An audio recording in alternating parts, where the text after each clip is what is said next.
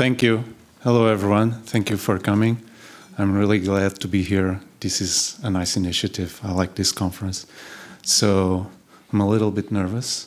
Hopefully, it won't show. Um, but yeah, I'll do my best. You'll be a supportive audience, I know. Um, this is a strategy I have, so I gain confidence. Right. So, my name is Pedro. Um, I come from Lisbon, Portugal. Um, I have been a designer throughout my whole career, but I've been designing very different things. Uh, I've designed, I helped design a museum, I helped design kitchen furniture, uh, backpacks, uh, other fashion accessories, uh, also e-commerce websites. So uh, I bring this perspective into the design work that I do. So I'm a newbie in open, in open source. Uh, so I'm learning. That's why I'm here also. And in that process, I'm hoping to share what I know or what I've experienced and maybe ignite some inspiration.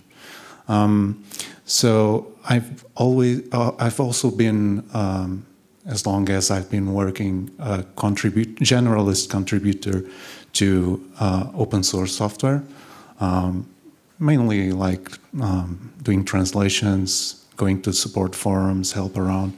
So I like that part too. Lately, I've been involved with Owncast on the Fediverse.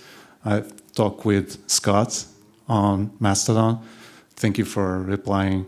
I'm, I'm trying to uh, cross that red line, you know, that you talked about yesterday, uh, to, I don't know, try to use GitHub, for example, to provide design.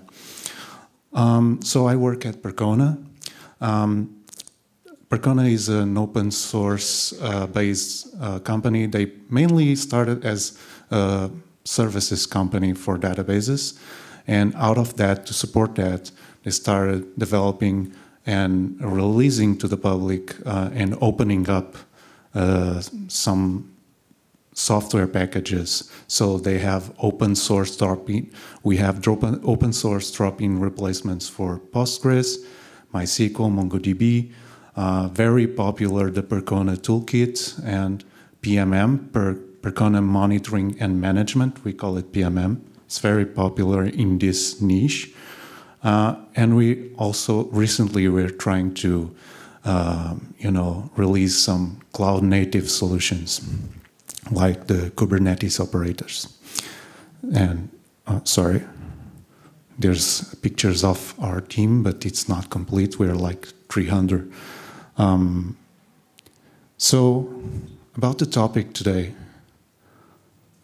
why, why product adoption through documentation design? Why, why not product adoption in product, right? Like better onboarding, things like that, supporting the user throughout their journey inside the product. And we've been talking a lot about documentation because it is hard somehow.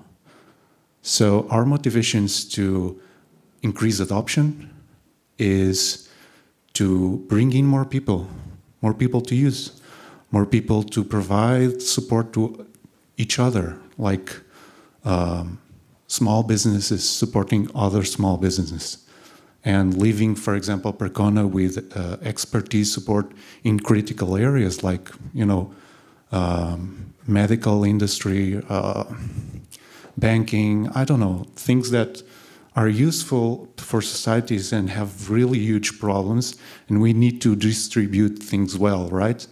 And we need to, we have this motivation to have more people in the database world. And why documentation and why not the product itself? Well, on top of design being hard, and software being hard, databases are actually super hard. Uh, they are technical, they're intimidating. It was for me. Uh, they have specific terminology, they're, they are super abstract. Um, they lack user centricity by default. Um, and Percona, be, being uh, database centered and developing solutions for databases uh, isn't user centric enough, or it wasn't historically until we arrived. Um, so there's a lack in design culture inside the company, and we want to improve that situation. And I've had this, this experience in the past of uh, concurrently having rapid software development and rapid user experience development synchronized. And it's a beautiful thing. We develop products really quick, usable from the get go. When structures are already implemented, it's not easy. Uh, like, and it, there's no user centric voice, it's not easy. So while we develop, we, we, are, we didn't give up on our products. They are mainly CLI, uh, uh, so command line interface tools. They are already not intuitive by default. So while we develop some strategies, what else could we do now?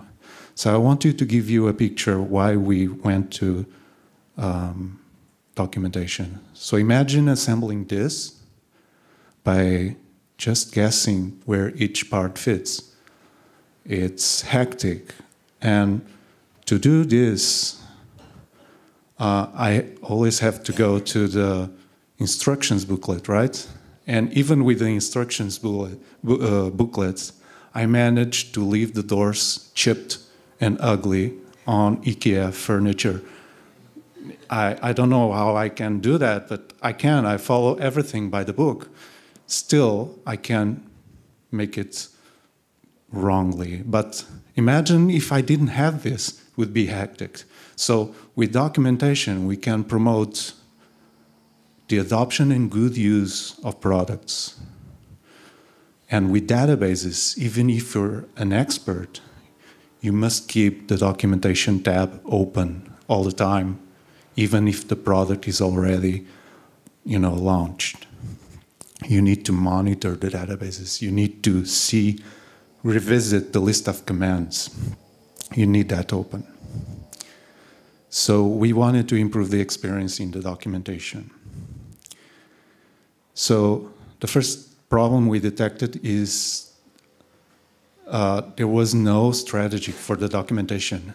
Simply because we have software, we assume that we have to have documentation. That's it. We have software, we have documentation. There was no risk strategy. So we were thinking how to solve this. Who's reading our documentation? How can it help them achieve uh, them and us, the goals, the company goals, the team goals, the user goals? How do we know if it is helping? So we defined that. So here is like a summary but you can go as deep or as light as you want and define your own strategy. For us, it was we want documentation to reach out to more developers interested in open source databases for their applications so that adoption increases through more installation, proper retention, and evident ease of use. So we wanted to do that. Also, another problem we had is that because documentation just exists, only a subset of uh, our team was dealing that in silo. Um, and we wanted to boost um, cross collaboration, wanted to bring in more expertise. So, on top of the tech writers and the marketing already involved, we kept the creation of the content itself, the management, and some of the data analysis. But we wanted to add some more speed, visibility, and openness and show this all our results with the documentation with the whole team. And we wanted to um, bring in more user representation. So we brought in technical services, account managers, customer success, try to understand how they see the documentation. And with PMs, product, product management, we wanted to have more horizontally distributed, get more departments into the same goals. And you can have more people if you want, bring them to the party. And on our end, from the user experience, we brought a perspective that a perspective that no one had, like uh, how to have a problem-solving uh, technique, uh, problem-solving techniques. Uh, that's what I mean. So we brought that uh, perspective. We proposed solutions, like rapid solutions, like we explore new tools. So on top of the analytics we already had, we were using uh, Google Analytics, but we thought, oh, how about using something more open like PostHog? And we tried that. And uh, successfully, we are going to have more data signals, not only like how many views, but for example, how is the user navigating on a page? Are they focused on something specific? How about seeing that? We want to have that visibility. And we wanted to boost the clarity on on the documentation itself. So we wanted to ask, is the content accessible to people? Does it provide intuitive access to their needs? Are there untapped opportunities? So we, we looked into our websites. Our websites, actually we had 17 of those uh, because we have 17 products. We have single separate websites for each product. So 17 documentation websites. They look like this out of the box. We are using material for MKDocs, which is a theme layer on top of Markdown docs, MKDocs, which is open source. You can use it. Out of the box is already great. But you have a lot of alternatives like Docusaurus, Vit, Vit, Vit or VitePress, um, Starlight, SmartDoc, Docsify, there are many more. You can explore out of the box. All of them are already really great in terms of user experience, but we needed something else. So we did a UX analysis on top of the websites and tried to understand how to improve this. So we tweaked a little bit. So uh, Markdown docs is really easy to fiddle around. You can like tweak the CSS, uh, you know, the HTML. You can extend it. You can put more stuff in it. So we applied more readable fonts. It was all geometric. We wanted to, we put a grotesque in it so it's more readable. Added more spacing, as you can see, it's more aired, more paused. You have no little moments of reading and increase chromatic contrast. You can can barely see the links.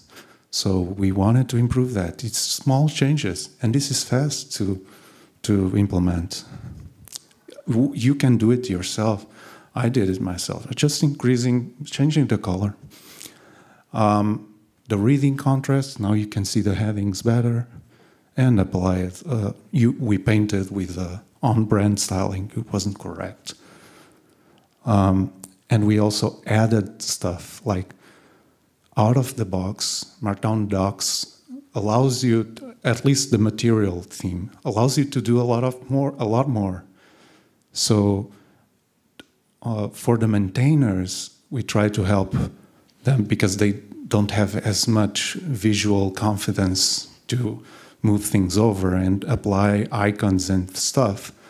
We created guidelines for them to how to apply icons, buttons, and when, when to drive the users to the right moment and the right time to another journey if they need. And we extended the theme, like we had like some chunking admonitions, rectangles, and we tried to do these little stuffs that, you know, to not drive as much, much attention because all we could see is admonitions. Um, and we also extended with more banners and stuff like that. He also wanted to unify the experience. As I said, we had like 17 websites, and they the traffic all came from our main website, which is like two was like navigating between two alternative realities. Like you were in the in the sea of marketing blurbs, and then you would go to a product, install it, then you return to the marketing sea, and then you had to return to another documentation site. So it created a new a new home page.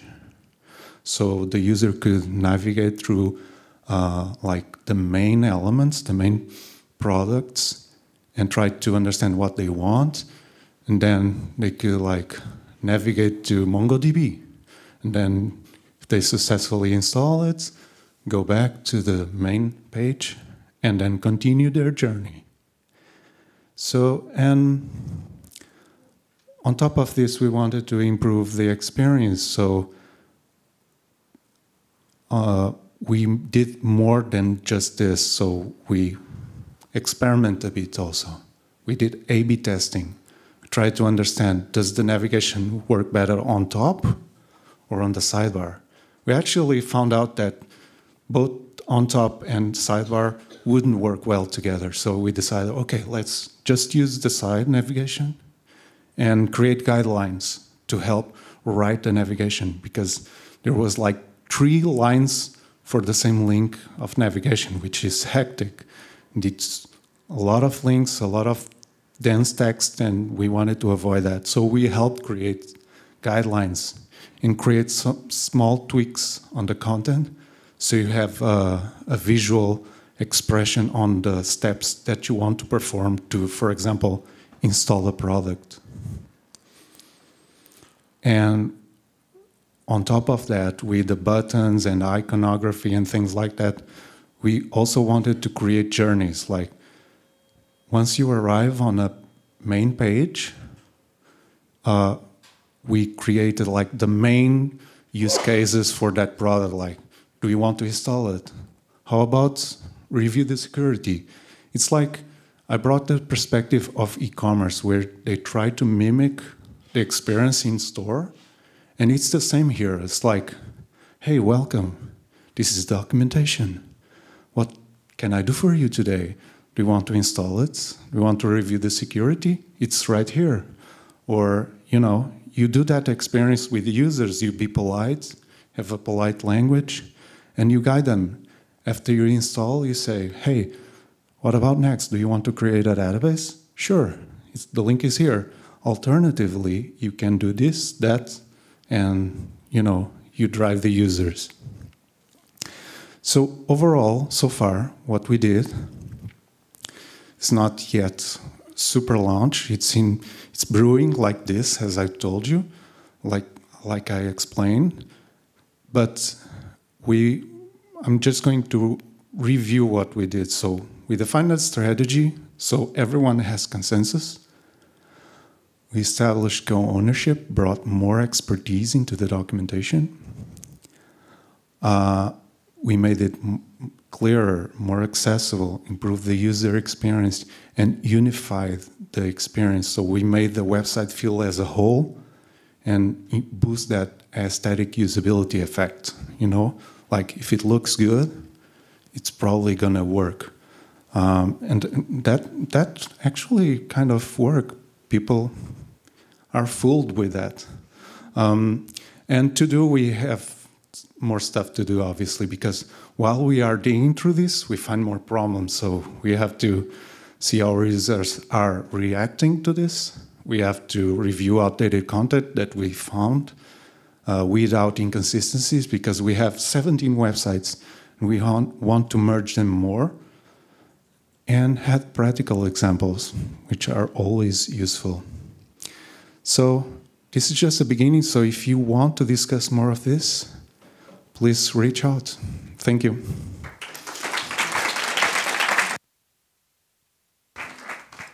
Great. Thank you very much for that. Um, we'll take any questions if people have any at this point. Right. Just one second. Um, so my question is about like you can create whatever documentation uh, you want for a product, but what the users will do is dive deep in and just start breaking things up and you know actually using the product. So how do you actually get users to try out uh, documentation or how you reroute them to, you know, use documentation before actually beginning to use the product. How, how do we um, in, incite users to Yeah. view the documentation first? Yeah. Yeah, so yeah, um, basically to install these kind of products, you have to use the quick start guides. You need a set of commands. You cannot do it otherwise.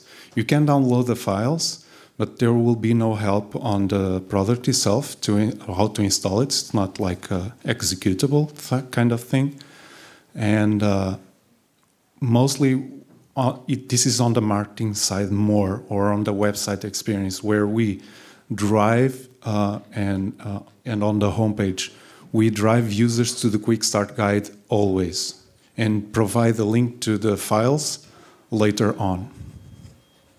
Yeah so we prioritize to answer bluntly we prioritize the quick start guide linking Okay, I think we're about out of time. We have to move on. It's actually, it was, I was told it was 4:25. We we have, there's a question there? I think we have four minutes. And so- sorry i took too too long Thanks. I like the, um, the slide where you put like uh, the documentation in a circle with the user experience uh, information, the product management, and then that goes to the marketing and tech writing. Yeah. And uh, at Kaleidos, we are having this uh, issue that as the product uh, develops, the features are getting more, more and more complex. So the comms team need more time to understand. Okay, how can we explain this? No, and we are figuring out how to make uh, like internal briefings so we get as much information as we can from the product team to be able to create stories and all the, the content. So my question was if you are having like a specific process to um, to have this information in a specific format to deliver to the marketing and, and tech writers, or, or is just the same process, but uh, it's just a way of making it easy for everyone to get that information? When you mean information like collaborating between all of the departments? Yeah. Yeah. So, uh, uh, well, we um, we simply invite them. Like, uh, we we talk with them, uh, like a lot, and we tag them when it's like asynchronous. We tag them all the time to see, hey, look at this, please. Uh, it doesn't always work, but um, we insist, um, and it has to work. Otherwise, the goals are not met. But um, I think uh, we should break like the barriers, like uh, invite them as early as possible. So whatever we do in documentation, at least in terms of design, is very open, and we also always ask between each step when do user testing or something like that and have results or have a new design even if it's a wireframe we nag people to have a look Okay, I'm afraid we have to wrap up, but thank you very Yeah, much. for thank that. you. Can we give him a big hand of uh, applause?